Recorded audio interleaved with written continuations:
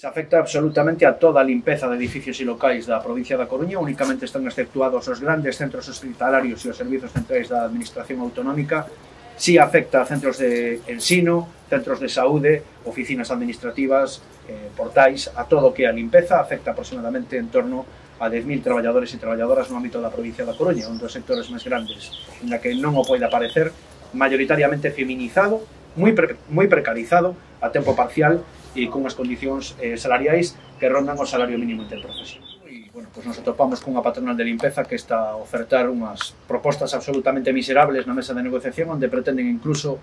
recortar dereitos establecidos en convenio colectivo e falamos ademais dun sector que non pode alegar que estea afectado pola crise, todo o contrario, as empresas de limpeza son máis necesarias que nunca, incrementaron facturación motivada pola pandemia COVID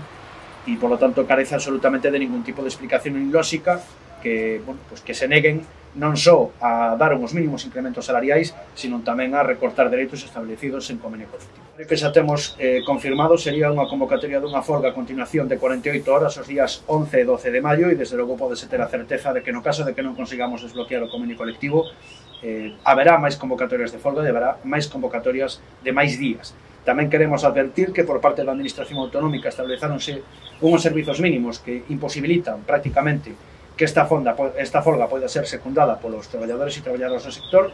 e advertimos que cando aos traballadores se lle negan os seus dereitos e a posibilidade de poder manifestarse, evidentemente vai ter unha repercusión que vai alcanzar tamén ao resto de cidadanía, porque nos van obrigar a ter que eh, manifestarnos eh, e lamentablemente interrumpindo e entorpecendo a actividade cotidiana de toda a ciudadanía. Eso vai acontecer con este servicio. Nos estamos solicitando un incremento salarial de 1,5 para o 2020 e estamos en solicitando un incremento salarial do 2% para o ano eh, 2021. Se a patronal alega que non pode facer ese incremento no ano 2020, o que facemos é sumar eses incrementos e a proposta que temos agora mesmo encima da mesa, aceptando un incremento salarial do 0% no ano 2020, sería dun 5% para o 2020.